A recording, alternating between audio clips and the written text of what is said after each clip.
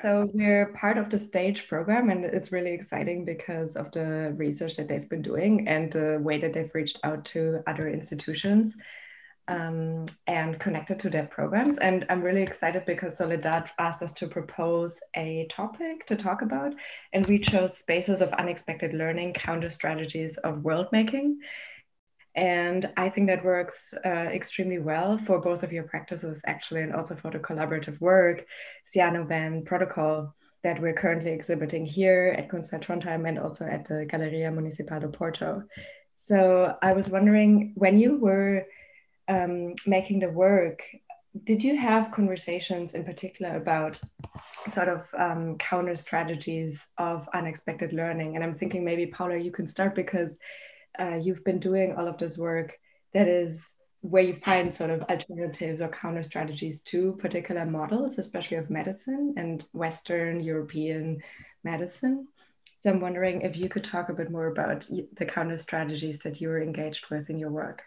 This unexpected knowledge uh, has always a great um, big implication on, my, on the work I develop because I uh, usually do performance performance of science this means like uh, I'm not really a scientist, but I perform when I do science. I mean, it's connected with, um, I don't need to have all the knowledge. If I want to make a project, I don't need to have all the knowledge in science, but I want to focus in something that I want to really do. And all this um, intention and way of doing things, it comes from the DIY um, politics, let's say, or like in a punk extent, they, they were doing the things that they need to do, no? for this kind of medicine and this uh, is more like prevention not uh, cure it's not like something it's for pre prevention and knowledge and know how the things are working not about how we now we need to find a cure for something no? is on my point of course there is many things that as we were exploring like extractions of plants and uh, alkaloids and many other things that they work for cancer and they work for all, many, many things. As conexións co transhack feminismo pois viñeron dadas por contextos específicos de colaborativos no que eh, diferentes persoas que hackeaban o xénero ou que hackeaban tecnoloxía xuntábamonos e facíamos aí laboratorios comuns. No? Pois traballos a mellor que tiñan un, eh, unha pegada máis individual a xuntarse nunha rede de entramados e dicir, vale, cos cousas de bioloxía, podemos comenzar, a parte de mirar nas plantas, xa teñemos mirado os fluxos de todo o corpo, tal, non sei que, entón xurdiu como a idea de traballar os aspectos da xinecoloxía autoxestionada. Non? Uh, what we are doing is a bit like queerizing the science, like the, the heteronormative science, because we are uh, just taking the, the chance to try and do the things no? through the experiments. And as we are in a 21st century, like there is many information in, in internet we can access, like protocols, and we have a huge network of people that they are working on biohacking as bacteria and other transfeminist uh, people that they are involved in these kind of projects. So the thing is like we are learning together. And now with Diana, it's like we are learning and building a big network of influence um, people that uh, uh, inspire, inspire, but also help and also share and also evolve together. No? No, no, this is great. Um, um, before, you know, I was a curator for TBA 21 Academy. So, and as mm -hmm. part of that work, I was uh, I spent some time in this marine um, biology research uh, station, and um, and you know I had this incredible respect towards science, thinking that okay, everything that happens in the lab, and you know all of the things that are being the, the journal articles that are being written, um, published in Nature, it's amazing. But in the end when you are in these labs the you know there's a bunch of tupperware boxes where people collect algae and then they change the water every day and that's it right and it's it's, it's extremely sort of um, profane and also it is absolutely not um, there's nothing mystical about it or there's nothing you know uh, that sh that should elevate it to that position where we in Western societies often consider it. And so mm -hmm. I like this approach of actually learning. There's stuff on the internet. There's stuff that is safe to practice and that we can learn ourselves. There's knowledge about plants that uh, keepers of traditional knowledge have had for a long time, that women have had for a long time, that has simply been lost or you know maybe delegated to the sides. So so revisiting that knowledge is uh, extremely important, and also what you do in your work, Diana.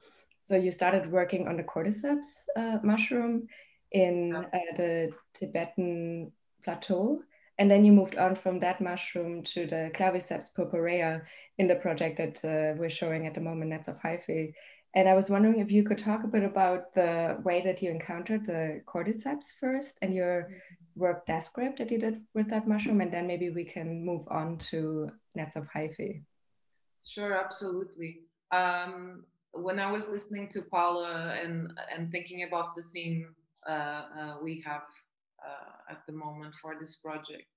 I was also thinking like the the the interesting amount or diversity of world making that suddenly appears when you are connected to the land or you know when you explore everything that is available to create medicine to for your food for you know for community to share there's so much knowledge coming from that relationship with the land. And when when I started the project um, about having cordyceps as the, the main character of this big narrative, uh, when I went to India and Nepal for this artistic residency, I had that in mind because I felt like for the frame, the time frame I have to film and do interviews and to engage um, with with the place and, and with people, it, it, it, it's something that usually takes a lot of time. But beforehand, I was already uh, learning and studying the, the relationships, and in this case, it's a hybrid parasite host relationship. And at the time, I, I was learning some articles uh, in the scientific community, which, you know, cordyceps function primarily was to treat cancer um, and was going, you know, was going in a really fast direction into like um, in, in China because the, the natural resource was becoming extinct. Um, and, and it was interesting that during that time, so this was like 2018, I started um, looking into like you know um, health shops and and and and shops where you just get like a lot of like tinctures and natural treatments and and I started looking at like boxes that had a lot of cordyceps uh, amounts on them, which is a fungus. You know, you don't really know if that comes from you know a weird interaction of a caterpillar or ant or you know suddenly it, it was just a really fascinating universe to to dive into. And i feel like nepal especially during the process of this research was you know the most important um, place to be because the economy was being so affected. Um, and and and i I just tried to sort of like follow the natural uh, curse of things in there, which is you know you have harvesters going like massively going going up in the mountains to um, to have different stages of like camps to extract this uh, cordyceps fungus from from the earth I wanted to do something with this um, idea of like observing a mutualist relationship, a, mutualist relation between multi-species. In this case, the parasite and the fungus and the and the vegetal, right? So you have sort of like different kingdoms crossing together, while also observing this sort of like wider global impacts of of this resource and the the mass uh, extraction of, of this natural resource. I think was a very important um, process for me to also be connected with uh, women from there, women workers, but not only. There is a very sort of like uh, oppressed um, spiritual, uh, you know, religious feel in, in women's lives, like with the Hinduism and what is their relationship with this work of being like um, in the land, having like this ancestral knowledge of knowing exactly how to pick it, how to preserve it. The whole process of like trading, it's it's very controlled by by women in in this case, and and then suddenly I was I was very interested in the fact that this fungus also worked as currency for sex work, like in in the in the camps, but also you know, suddenly we start talking about sex work. This is a very delicate subject. And then because you are menstruated, you have to be taken away because it's, you know, it's something that is seen as impure and dirty. So you can't stay with the community. You need to go um, away for, you know, as long as you are bleeding. So that was something I, you know, I was very sort of like struck by it. And the the script is very much based on those on those stories. Yeah.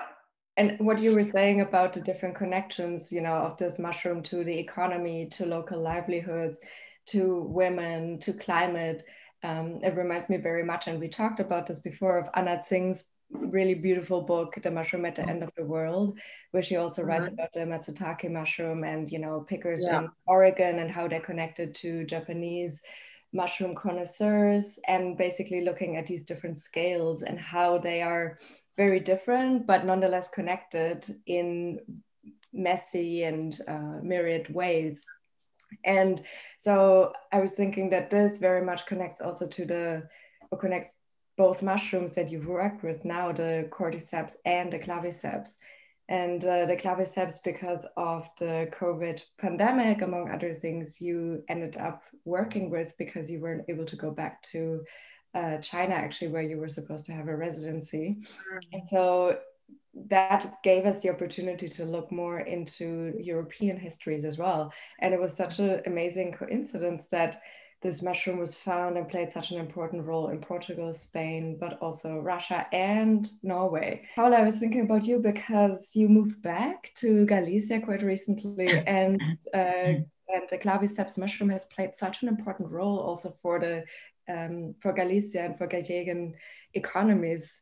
There was a pharmaceutical company who was industrially farming the ergot, uh, and it was used in medication but it is nonetheless connected also to what you were talking about, Diana, with your research in um, India, Nepal, and so on. So, you know, the fact that this mushroom actually played such an important role in bodies throughout European history, infecting mm-hmm. people during the uh, Middle Ages, being connected to the witch trials, where women were reported to um, to have caused hallucinations, gangrene, and all of these physical effects and then still playing a role actually all through this 20th century. It was like the, the most amazing coincidence, uh, you know, sort of like jumping from the Ayurvedic medicine to the more Western yeah. context, because when you are driving between Portugal and Galicia, you don't know the difference. Yeah, you don't know the difference. It's Atlantic and it's like it's, it's the same. same land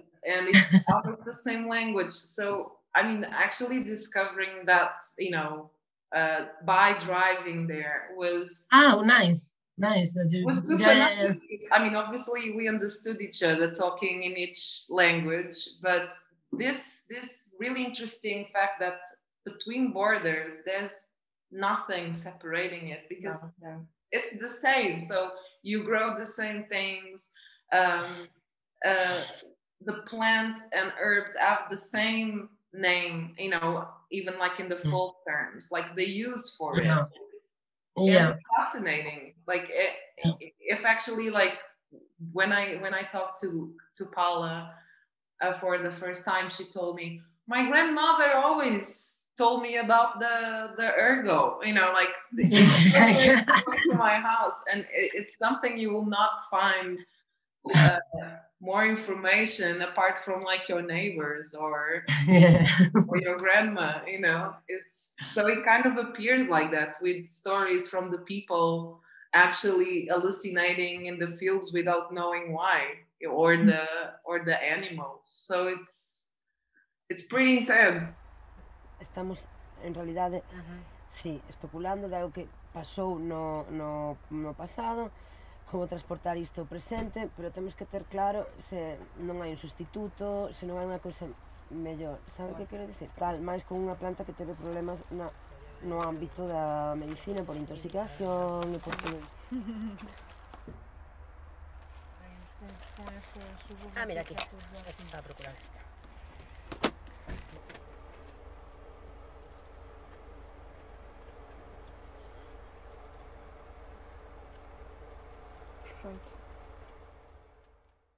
I feel that the throughout the pandemic, we're looking more sort of towards our own surroundings where we currently are.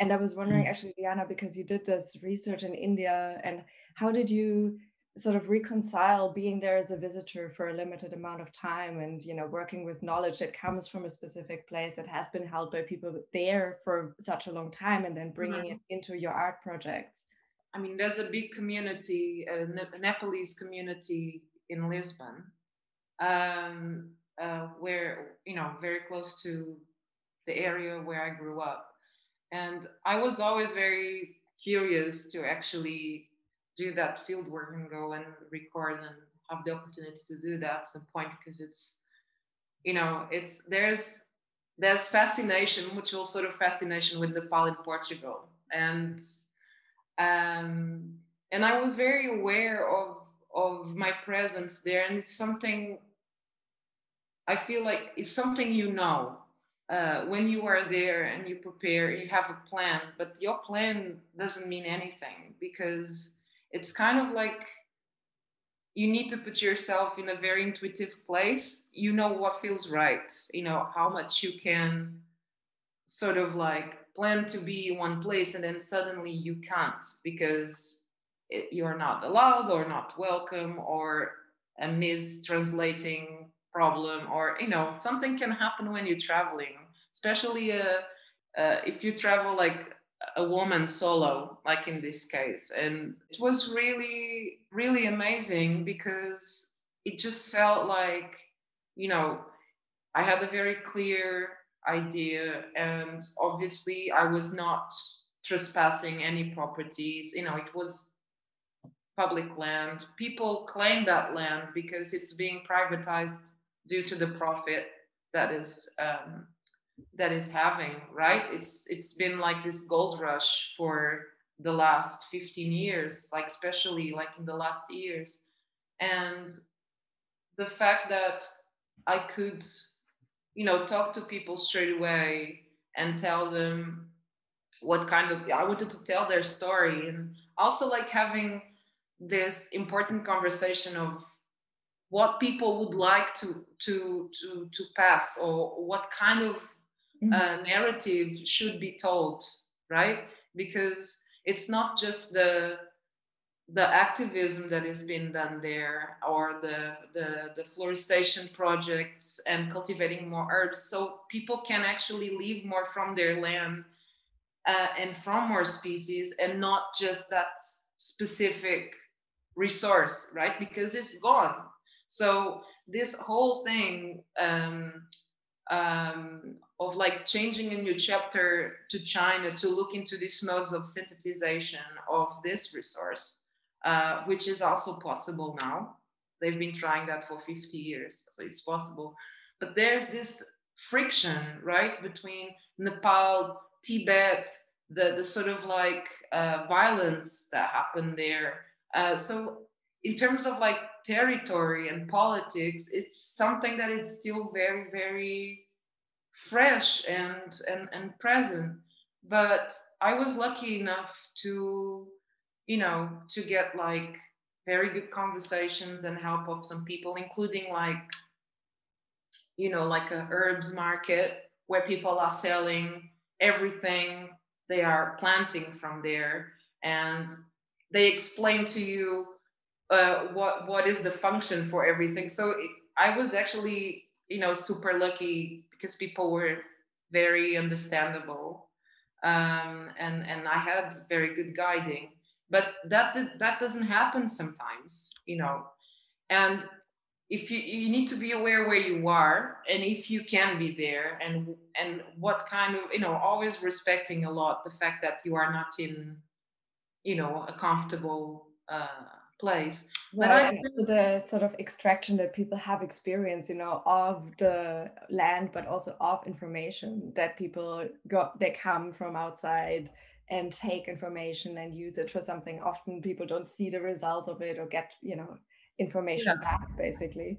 So i think yeah, there's like this long... to to to construct like uh, communication about what you want to do um, because you know all sorts of extraction comes like this. We know like different situations that people really feel um, invaded and and and it it was i think you know when you need uh, to go ahead or just to leave. I think it's important if you do like field work, it's it's something that feels right. You know, you know you're doing is is like is the result of having this interaction.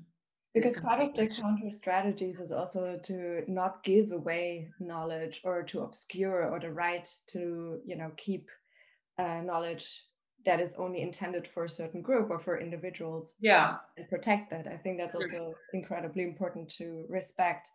Absolutely. Yeah especially there because you know this this cordyceps is also very sort of uh, um, it's like a deity you know a deity in the mountain. So it's treated like a spirit it's treated like as something sacred.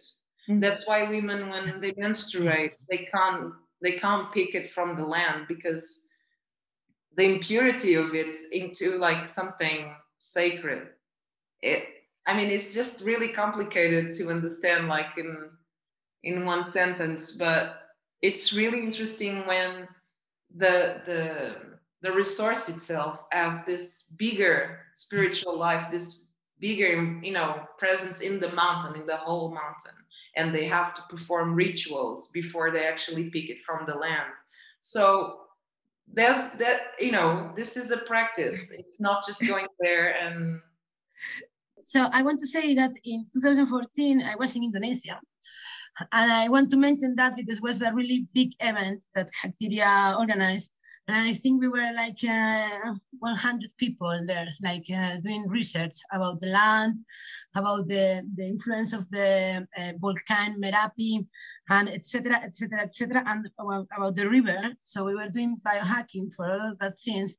And I want to come back this situation because people there also know a lot about plants and they, they do everything DIY. I mean, it's really connected with Portugal and Galicia. I mean, probably if we talk about Madrid or Barcelona, it's also the same. But I think Galicia and Portugal, we are not really industrialized as the other lands.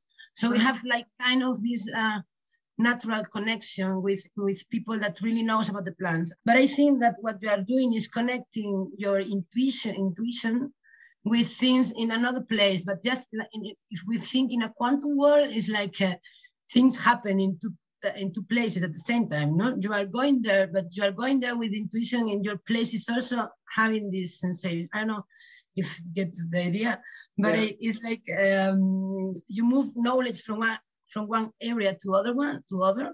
But I think this knowledge is already connected to the ancestors the influence of uh, from Indonesia in, in our sense, we also start to talk about plants, about uh, treatments from gynecology from there also. We connect the project with Pechblenda and Gynepunk, and we were growing many things from that, from that uh, event there.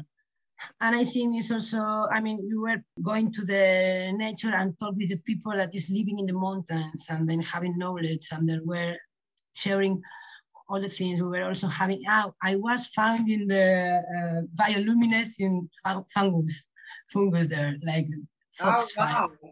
yeah, and the mountains. we were playing something, and I was like, "How people? You have some UV lamp?" And people would say, "No," and I said, "Because we always go with your UV lamp to look for the fungus." And I was like, "Oh." But there's a lot of bioluminescence on the floor, and then it was like this foxfire there, and it was full, full, full of foxfire, and nothing. Now I want to say that, uh, that this kind of Asia connection with uh, Atlantic um, um, yeah. and this uh, way of looking at the things and this uh, coming back the knowledge from the, our ancestors were uh, having and uh, being implicated in respect the knowledge, but also improving and also using the, the, the tools we have no, now in the, the present. Mm-hmm. This is what I was defining at some point. I was saying like we are the cyber witches because we are using the tools that we have in the present to research about the alchemy it was in the past. No, no pasa de, da, da liberación dos Frida Kahlo. Entón, sí. está, está tudo aí, né?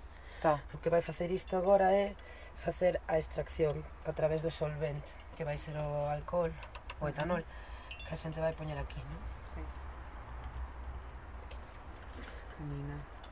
Nunca os cogumelos tiveron un, un contido recreacionista, senón que é un contido de, de reconexión coa terra, tal, non sei que son, son um, usados no tradicional. Temos sobre, com o nosso corpo, não é? Até muito tempo foi considerado como uma planta, não é? De repente não é, é um, é um, não, um porque, animal. De feito, é, eu acho que é, que é um híbrido. When when I actually when we met personally, I mean we were like talking about straight away. oh, you should take this, and like, it's like you make a powder of something and you know of something because suddenly we, I mean the social. Um, the social and, and, and health experience somehow you know it's always crossing because yes you want to be more dependent of good stuff you know of like and and it was so funny because our our first encounter was pretty much like exchanging this this knowledge and and I think you know it's still something that is happening for centuries. That's yes. that's part of our uh, social life and it's part of like keeping this um, keeping this knowledge also active, alive, vibrant. That's a really important point. And I mean, this is also really present in the exhibition in Nets of Hyphae because, you know, all the research, Diana, that you did with the etchings and engravings and drawings throughout history, like from, I guess, starting in the 13th century and going all the way up to today, the knowledge, or even way back, yeah.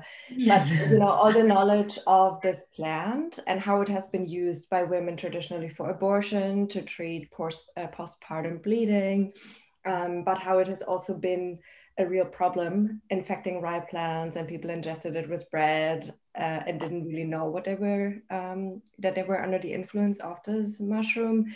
So i think sharing information in different ways and outside of the institutions that very often try to control that knowledge and try to define what kind of knowledge is the only and the only true knowledge.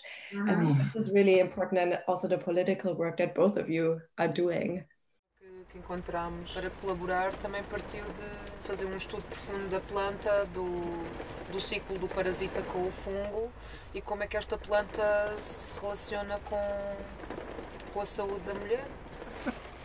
Eu achei interessante tu falares do plátano, não é? é Sim. Tal como com a mandrágora, Sim. eram tratamentos utilizados por healers e pelos monges, Sim. os peregrinos, para tratar o, o ergotismo, não é? que non estamos que non somos humanos de células, que noso corpo está composto por auga, bacterias, fungos, o sea, non somos só humanos, non? Entón, o contido interespecies xa está uh, inscrito no, no, cando nacemos, non? O que fai a cultura antropocéntrica é pensar que o humano é humano, é o fungo é o fungo, e ten o poderío de clasificalo todo e poñelo como en casillas, pero un pouco como para poder entendelo, non? A desconexión iso que temos agora coa natureza provocada polo sistema reduccionista da ciencia capitalizada e heteropatriarcal, pois, bueno, desfeix toda tipo de conexión. Mira, a cuarta volta. Bye. Bye bye. Bye bye. Bye. bye. That that brings us also together to start like something um, from the point of the more you know sort of like uh, obvious way, which was like like Paulo was talking about, looking into a protocol and try our own way to create medicine with it, right? Or at least to like understand the very old process of of, of working with with with the ergo because you know these days you have a lot of institutions slowly applying like treatments for dementia uh, uh, chronic depression uh, parkinson's you know there's like there's there, there, there are there are parts of the synthesized ergot which is you know pop, popular known as lsd but pre-lsd uh, moments were very much defined by this kind of interactions right? Trying to create um, the medicine for for ergot and understanding the portions. So that's how somehow we connected and, and Paula suggested that straight away. Let's find a protocol.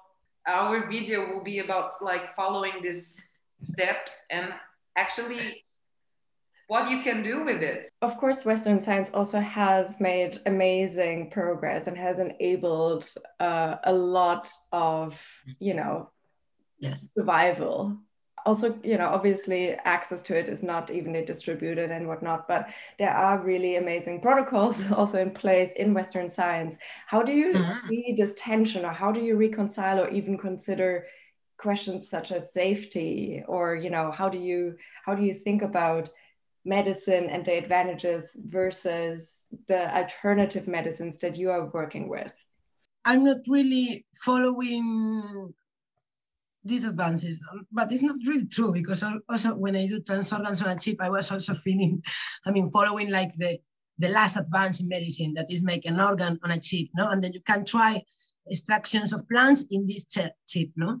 But um, yeah, what I want to say is like I try to look from the connections of, for example, plants that you can extract alkaloids for the I say before, no, but this was the point that I feel connects uh, our project because I was having really the protocols. Um, I mean, I have to look a bit on my things, but then I was like, I have alkaloid extraction and other things because I was really interested on, on that point, and I have also the tools for doing it. But of course, you need to check all these things because we are not in a, in a laboratory, but we can perform the laboratory for me, it's not that we are speculating. We are just trying things that for me, speculation is another thing, but it's something that we are trying now. I mean, we are not saying like this is done like that and like that is right. We are not performing uh, uh, the science we are criticizing. You know, we are trying the things to learn how to do it, then to have our own uh, conclusions.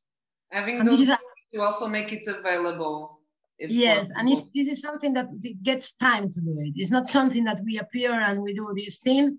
This is something that we were talking also with Kava, we were doing Janipa, I was saying this is a project for a whole life you know? It's not something yeah. that we were doing the tools we were we have to train the tools and we have to make accessible for the people and then replicating then using this in a context that this is not the traditional medicine or science science. No, I think it's a, a, a way of uh, being a, uh, a, progress of being doing step by step trials and experiments and sharing. I don't know.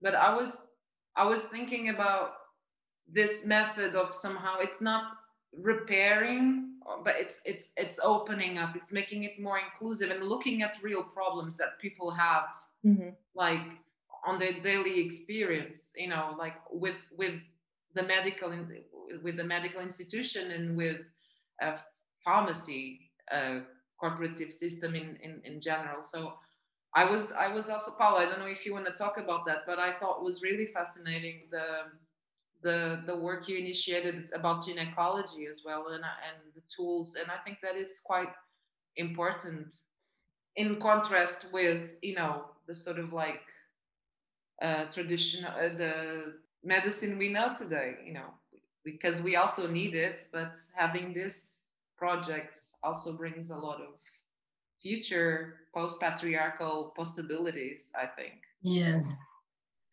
Yeah, this was also a really, as I explained before, a bit, but coming from the another thing, it was also a rhizomatic, like uh, organism that we developed uh, like really strategically because there was uh, yeah we were like just a uh, group uh, trans feminists and we were uh, some people was working with body issues and microscopes and then other people were saying ah why we are not using that? And then we we, we built the project together and then i was really connecting uh, trans feminists with the biohacking network and make also um, yeah one people influence another one and being inspired by of course and we were uh, everyone was inspired by other ones. And so this uh, project was just, yeah, born from the necessity of uh, cultural, I know, a context of people that they really need these tools to, because they don't have insurance, for example.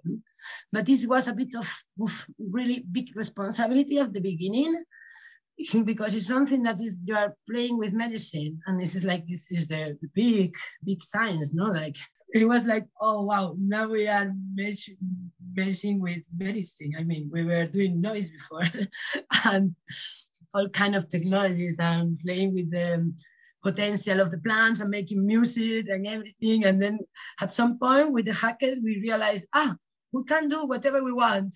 Great, let's do this project. And then we start to do this project. It's like, was just um, emerging from this uh, connection I explained before, and then it's yeah um, now it has many tentacles. I mean, it's people just is working in some areas, other people is um, yeah, I don't know working more in, in, the machines, other people is more working on plants, other people is measuring, uh, um, putting everything together, and then I mean, everything is documented on the, on the, on the web pages, so you can really replicate and being involved because it was something like uh, at the beginning was like, uh, I don't want to be the, I mean, we need more people involved to make this bigger. Uh, we were having cyber, the network.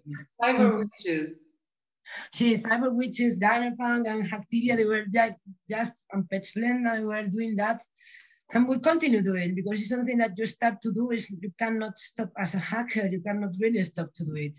Mm-hmm. because you know you can do more things. And it's something that i mean it's a, a process of doing but it's also like a um, a way to to to pass by you know because it's uh, something that you know is probably is it, it will not finish with your with you, but it's gonna be a, a progress to to have a seat for uh, other people with other other things from that. Mm. No?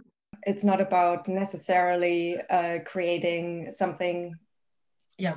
Yeah, but but opening up, making more accessible, and also I think reclaiming knowledge that has been taken from uh, indigenous people, from women, from yes. people who have knowledge of the land by pharmaceutical companies, among others, who create patents and who keep the knowledge to themselves.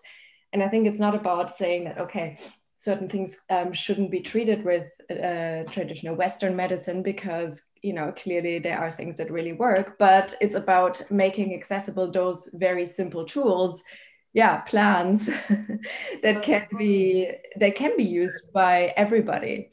And so i think this kind of opening up is really key here when it comes to counter strategies and other forms of world making and knowledge creation.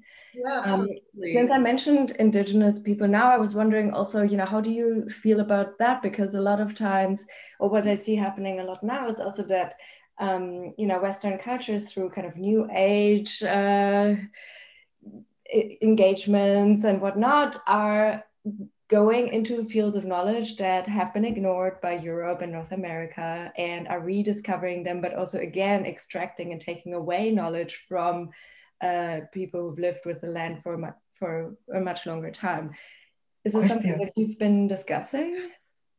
That was important in the process of like uh, doing this project last year, for example, because I feel like just the idea of like constant hallucination or contamination was a natural process of like doing what you're doing you know like from like harvesting the cereals to make bread from like assisting women on childbirth. This was like part of like a communal living and and and I think like there was there there are so much interesting debates about you know how people were um, appropriating knowledge and like abusing of of the the access that so many uh, cultures had like in terms of like the, the the knowledge of using hallucinogenic properties in rituals. But it's it's part of like um, uh, making access to to properties uh, like this you know like for example uh, obviously i feel the fact that people didn't know like in the case of portugal for example the, the fact that people didn't know exactly why they were hallucinating that was interesting to me because um, until very recently people didn't go to hospital that often.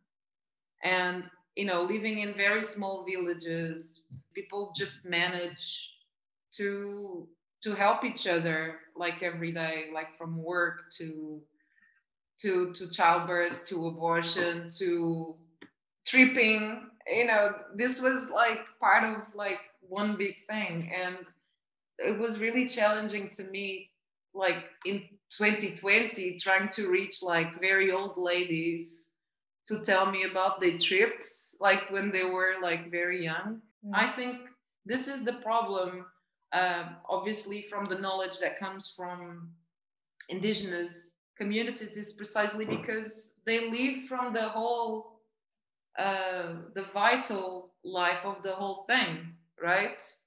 And it's not just looking at one element I mean, they're also structurally uh, very often put in a position where they don't have access to financial resources to pay for insurance and go to hospitals. And then the knowledge is also taken from people.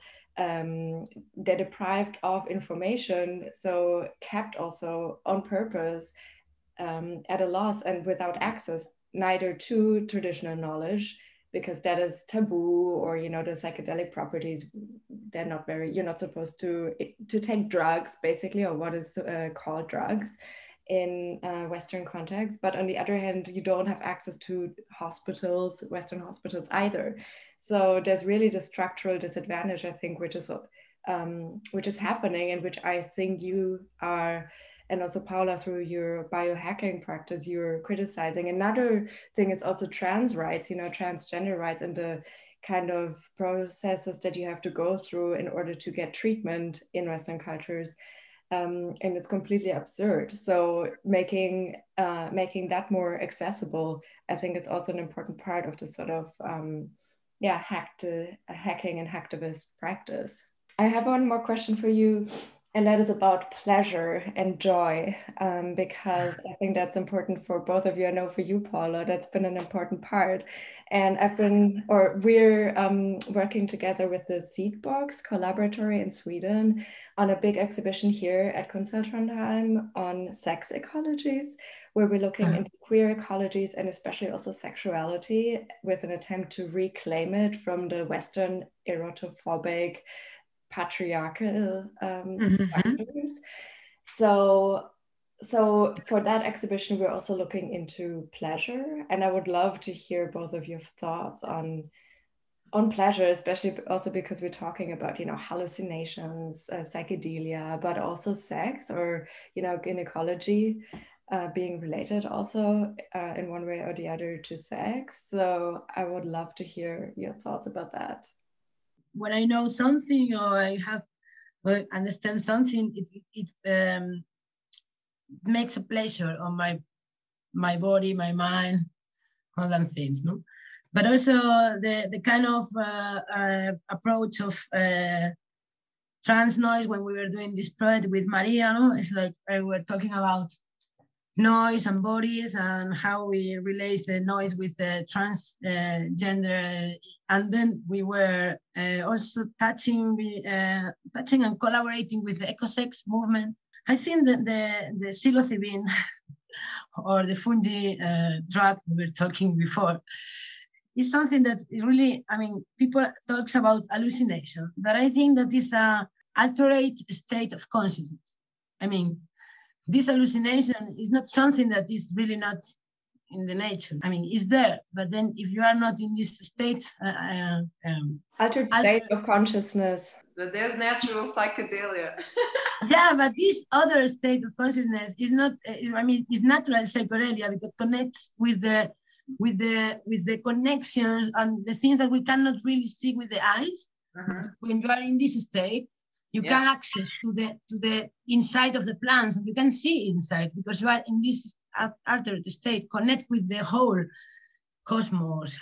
And the approach uh, that the, we do with the gynecology, of course, it comes from the pleasure. It's, it comes from from uh, friends as Diana, they were uh, researching about how we ejaculate, how the women ejaculate. Diana Porno Terrorista, another Diana we were we were working uh, 10 years ago.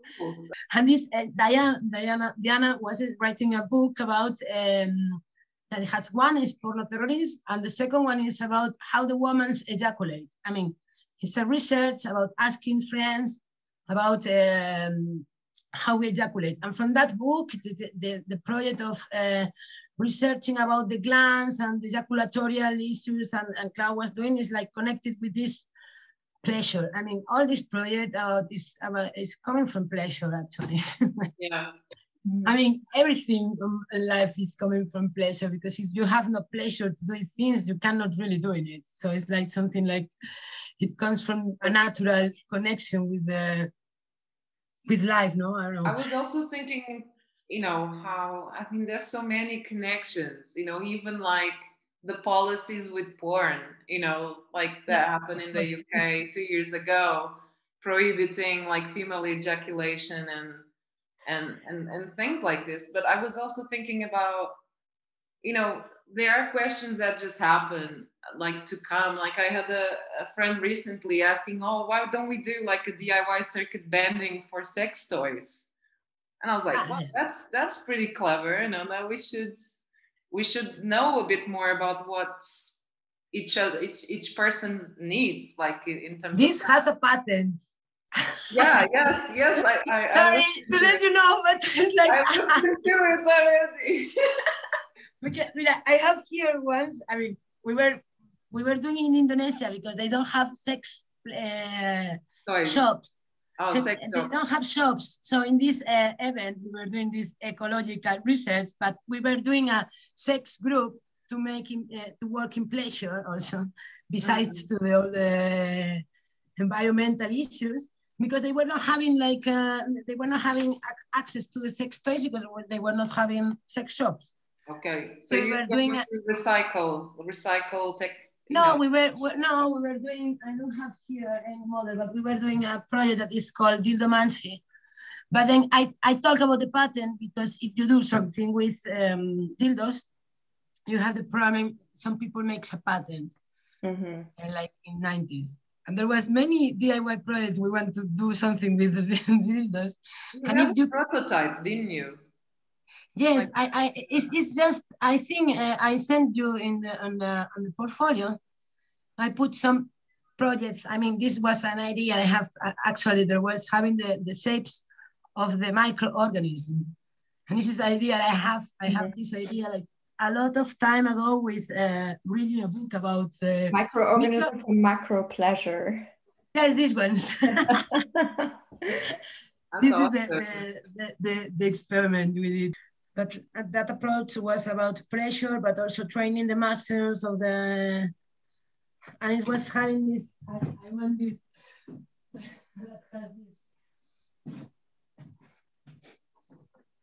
this movement Oh, that's a tentacle. That's amazing. yes. Awesome. What is it? Is it a dinosaur?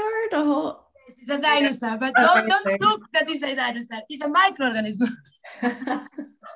but this is this is from the dust dumpster diving in a in a Swiss uh, university with my friend Uzda. I was also thinking, you know, going a little bit back to to the to to the research as well, like how you know, sexuality was something always, you know, celebrated, sort of like even assisted, you know, in a sort of like ceremonial, um, sort of like um, event in that, you know, from uh, Demeters in Greece, you know, using the kykeon to, you know, to bring Persephone back or to to wish like um, a healthy crop for the following year. You know, this mm. idea of sexual ceremony is connected with um, agriculture, it's really interesting. Mm-hmm. And for example, how I mentioned Hildegard in one of the artworks because she was a, a sort of like a, a, an entity that somehow is very connected to um, to religion because she you know she lived in a monastery but she wrote really important mostly her visions on like herbalism and sexuality as well. Like 12th century she was writing about you know yeah, uh, women's orgasms. So i thought that was like okay you know 12th century it's it's interesting like you you were writing about that stuff or medieval ages or the fact that you know the ointments that healers and, and apparently called witches used were also like very frequently um, uh, through like the, their vaginas or and you know it was known that the ointments sort of like pleasure um, ceremonies or these acts were very connected to to that core right? To that mm-hmm. sacral uh, energy. Um, and i thought that was very interesting you know just the, the connection of abolishing sexuality or making it visible that way right and also why there's so little knowledge still today um, you know especially about i mean women but also non-binary sexuality it's uh, a lot of knowledge and information that is simply being suppressed so i think by uh, opening up and bringing in these alternative and additional forms of knowing and that are not patented I think that's really important work. yeah. And pleasure, of course, you know, bringing in joy as well, because in the end, um, that's one of the things from which we can create energy uh, and um, solidarity also among one another and support one another. Yes, absolutely. Thank you. Um, yeah, and thanks to Stage and TBA 21 for hosting us. Thank you. Thanks to everyone.